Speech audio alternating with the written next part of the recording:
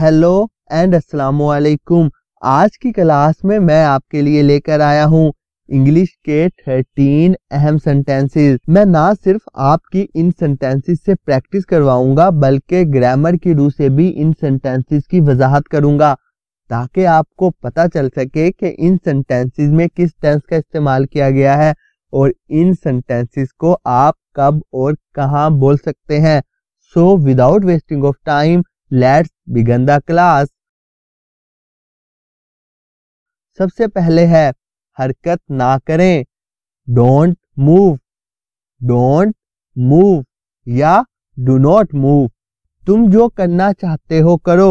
Do whatever you want to do do whatever you want to do मैं इंतज़ार नहीं कर सकता। I can not wait I can not wait जब भी सेंटेंस में किसी एबिलिटी का ज़िक्र होगा कि मैं ये कर सकता हूँ या मैं तैर सकता हूँ, मैं दौड़ सकता हूँ, मैं खेल सकता हूँ तो हम उसकी ट्रांसलेशन कैन से करेंगे? अब यहाँ पर है कि मैं ये नहीं कर सकता, यानी कि मैं इंतज़ार नहीं कर सकता तो यहाँ पे हम कैन के साथ नोट लगा देंगे क्योंकि ये नेगेटिव सेंटेंस बन रहा है। आई कैन नोट वेट मौसम कैसा है?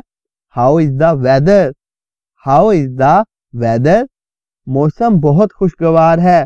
The weather is very fine the weather is very fine जैसे आपकी मर्ज़ी। As you like as you like ये काफ़ी है। That is enough that is enough क्यों नहीं?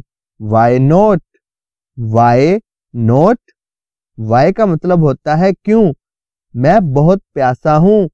I am very thirsty I am very thirsty thirsty का मतलब होता है प्यासा। तुम कहाँ थे? Where were you where were you आपसे मिलकर खुशी हुई।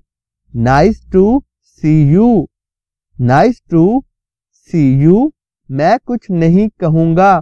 I will say nothing I will say nothing मुझे ऐसा नहीं लगता। I don't think so I don't think so so ये थी आज की क्लास। उम्मीद करता हूँ इस क्लास में आपने बहुत कुछ नया सीखा होगा। मैं इसी तरह की क्लासेस हर रोज लेकर आता हूँ। कल तक के लिए अल्लाह हाफिज। अपना बहुत सा ख्याल रखिएगा।